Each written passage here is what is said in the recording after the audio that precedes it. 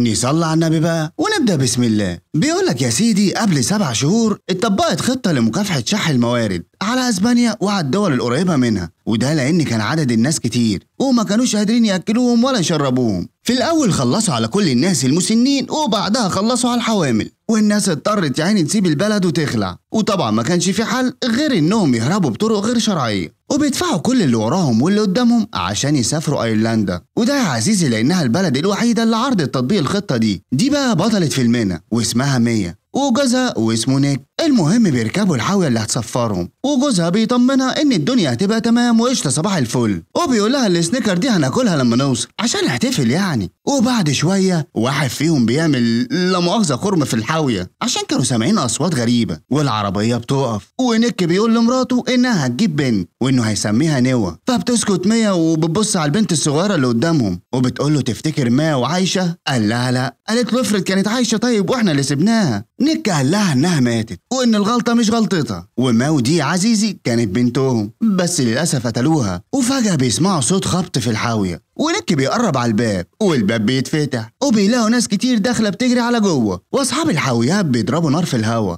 وزعقوا فيهم. وقالوا لهم إن في عربية تانية هيركبوا فيها. وبتحصل خلطة بيضة بالصلصة. والناس الجديدة بقى دخلت على الناس القديمة والدنيا ساحت وبقت بزراميط باللانشون. وأصحاب الحاويات بيطلعوا بينزلوهم. وأخدوا معاهم نيك. نيك قال له يا باشا أنا كنت جوه مع مراتي. المعلم ما بيقتنعش. يا باشا بوس قرعتك مراتي هنا. مفيش منه. ضربوه اخدوه وفرقوا ما بينهم مية بصت عليه وبسرعة طلعت التليفون واتصلت عليه بس بيطمنها إنهم هيتقابلوا على السفينة. ومية بتعرف إن رقم الحاوية اللي نك فيها 107 المهم بعد شوية بيوصلوا في مكان تاني وكان كله ضرب نار والناس يا عيني كانوا متهانين على الآخر. وكمان كانوا بياخدوا عيالهم والوضع كان صعب جدا الصراحة. وشوية تانيين وبيوصلوا لمكان تفتيش والظابط بيطلب من السواق إنه يفتح الحاوية. والناس اللي جوه كانت سامعة الكلام اللي داير بره وكلهم كانوا بيحاولوا ما يطلعوش أي أصوات لحد ما يعدوا. لكن للأسف الظابط بيصمم يفتح الحاوية ومية بتشوف من الفتحة حاوية نيك والظابط بيفتح الحاوية بس ما بيلاقيش فيها غير صناديق وبيطلع يبص جواها وكان متأكد إن في ناس. فبينزل وبيطلع واحد يقف في آخر الحاوية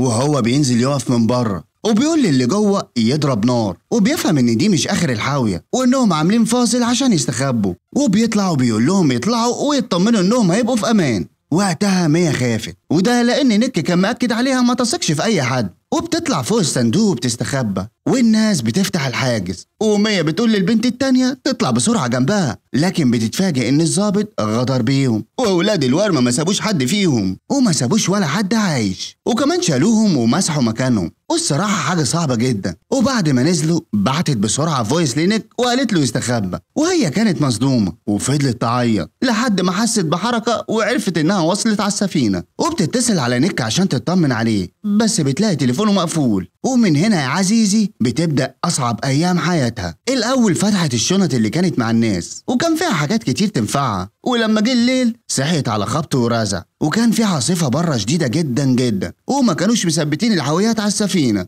وفضلت تخبط وتنده على الرجالة اللي بره. بس للأسف العاصفة كانت شديدة جدا والحاويات بتقع وبتطير الناحية التانية وبيغمى عليها. ولما فاقت بتلاقي الحاوية دخل لها مية وبتعرف كده إن الحاوية على سطح البحر. فبتطلع التليفون عشان تكلم نيك. بس بتلاقيه متدشمل والشاشة وال touch كانوا في داهية. فطلعت التليفون من شنطة كانت جنبها بس ما كانتش عارفة ال password. وبتقوم تفتح الصناديق اللي في الحاوية. وبتلاقي واحد فيه علب بلاستيك والتاني كان فيه هدوم. فبتاخد منهم وبتغير هدومها. والصندوق اللي بعده كان فيه تلفزيونات. وبتفضل تلم كل الحاجات اللي هتنفعها في شنطة. وكمان بتاخد اللزق وبتلزق الفتحات اللي في الحاوية. وده طبعا عشان تمنع دخول المية جوه الحاوية. وبعد شوية بتسمع صوت صريخ ولما بتبص بتشوف الحاوية اللي نيك كان فيها وهي بتغرق وبسرعة بتطلع الخط من تليفونها وبتنقله تليفون تاني بس للأسف ما كانش بيرد وانهارت لما شافت الحاوية وهي بتنزل في المية وقعدت وكانت عمالة تتصل على نيك لحد ما بتلاقي تليفون نيك اتقفل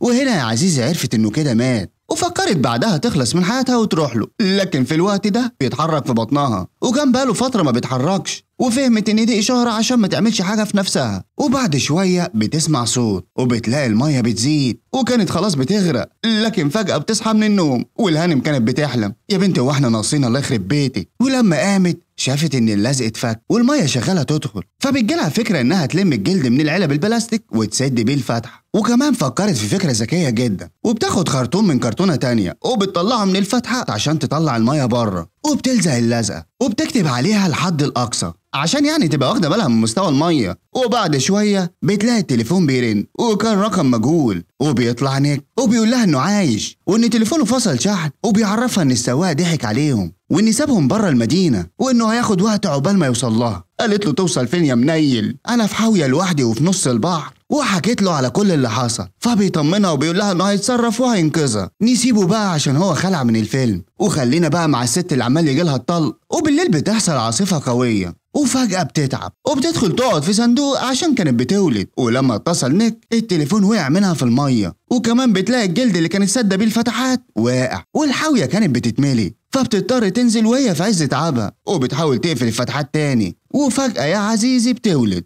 بس البنت ما كانتش بتعيط وفضلت تحاول معاها مرة واتنين لحد ما عيطت وأخدتها ودخلت بيها جوه الصندوق. والبنت كانت عمالة تعيط وما كانتش عارفة ترضعها وبعد شوية تاني الخلاص بينزل. وبتشيله في العلبة. ولحد اليوم التالت بنتها ما كانتش عايزة تسكت وكانت بتقطع من الهدوم اللي موجودة وتعمل منها حفاضات وكانت بتحاول معاها بكل الطرق عشان تسكتها. لكن للأسف الأم كانت ضعيفة جدا وما كانش لسه في لبن لبنتها. وبتجيلها فكرة إنها تعمل فتحات كتير في السقف عشان تفتحه. بس بنتها ما كانتش مبطلة زن وده يا عزيزي تعب أعصاب مية أكتر وأكتر وما كانتش عارفة تعمل إيه وفقدت أعصابها وفضلت تزعق في بنتها. لكن بعدها بتهدى وبتحضنها وبتتأسف لها. وتاني يوم أخيرا بتشوف اللبن وبتاخد بنتها بسرعة وبترضعها. ومية بتقعد وبتاكل آخر أكل كان موجود في الحاوية. وتاني يوم بتقوم تكمل الفتحات في السقف بس الشنيور بيفصل وما بتعرفش تكمل. وبتقعد وهي حاسة باليأس. وبعدها بتنقل تاني الخط وبترجعه لتليفونها. بس برضه التاتش ما كانش شغال. وبتنهار وبتفقد أعصابها. وبتفضل ترمي كل حاجة قدامها. لحد ما شافت السكينة دي وبتاخدها وبتحاول تفتح بيها السقف. بس كانت بنتها بتعيط ودرجة حرارتها كانت عالية جدا. فبتنزل وبتغسل لها جسمها بالمية وبالليل كانت جعانة وما كانش فيه أي أكل متبقي. فاضطرت يا عزيزي تقوم وتاكل ال أي حاجة بقى بدل ما تموت هي وبنتها. وبعدها بتسمع صوت خبط. ولما بتشوف الحكاية بتشوف الحوت وهو بيخبط في الحاوية وبنتها كالعادة بتعيط وبتاخدها وبتفضل تضرب بالخشب عشان تمشي الحوت. وده لأنها كانت خايفة إنه يقلب الحاوية ويغرقها. وبيعدي ست أيام وهي بتحاول تفتح السقف لحد ما السلاح اتكسر وهي كانت جابت آخرها على الآخر. وحرفيا يا عزيزي اتعذبت. حتى المية خلصت منها. ده غير عياط بنتها. وابتدت الهلوسة وبتشوف بنتها ماو وبتلومها انها سابتهم ياخدوها. ومية بتفضل تعيط وبتعتذر لها وبتقول لها إنها غلطتها. لحد ما بيجي نيك وبيغطيها وبيقول لها إنه مش ذنبها. وبعدها بتفوق من الهلوسة بتاعتها وبتلاقي الدنيا بتمطر. وبتقوم وبتحط العلب البلاستيك عشان تملاهم. وبعدها بتفك حزام من اللي مربوط في الصندوق. وبتطلعه من الجنب اللي فيه الفتحات اللي عملتها في السقف. وبكل قوتها بتشد الحزام لحد ما أخيرا بتقدر تشدها. وبتاخد بنتها وبتطلع تتشمس شوية وبتغير لها الحفاضة وبترميها في المية ووقتها بتلاقي السمك اتلم عليها حاولت تصطاد منه عشان تاكل بس ما كانتش عارفة تصطاده.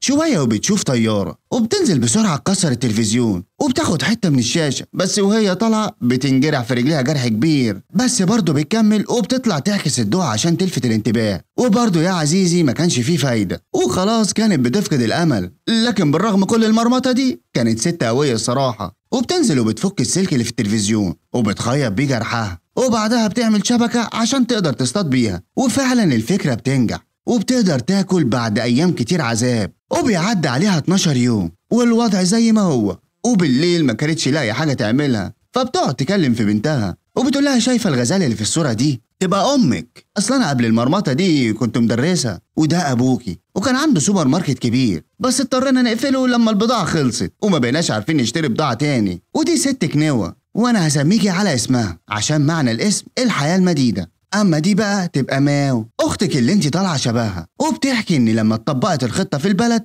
استخبت هي وماو عشان كانت حامل. واتحبسوا أيام كتير وما كانوش عارفين يخرجوا من البيت. وماو زهقت واتحايلت على أمها تخرج شوية وتلعب بالطيارة. ومية كانت عايزة تراضي بنتها لأنهم محبوسين وما بيخرجوش بقالهم فترة طويلة. لكن للأسف كان نصيبها إنها تطلع وتتشاف. وأخدوها وقتلوها. وبنتها بتتعب. وكان الجو برد جدا وبتقوم مية وبتولع قماشة وبتحطها في المج ده وبتتدفى هي وبنتها. والمية كانت بتزيد في الحاوية يوم بعد يوم ونيك أخيرا بيكلمها. فضلت تحاول كذا مرة مع التاتش لحد ما قدرت تفتح وبيطمن عليها وبيقول لها ان هو مش هيقدر ينقذها ولازم تشوف حل لوحدها. وده لأنه اتضرب طلقة وهو بيهرب وان هو دلوقتي بينزف كتير ومش عارف هيعيش ولا لأ. وبيعتذر لها وبيقول لها إنه حاول بكل الطرق عشان يوصل لها. فبتقول له إنها ولدت وإن بنتهم شبهه وشبه ماو وإنها سمتها الاسم اللي كان عايزه. وبتقرب التليفون من بنتها ونيك بيفضل يتكلم معاها لحد ما التليفون فصل شحن وبيعدي عليها 26 يوم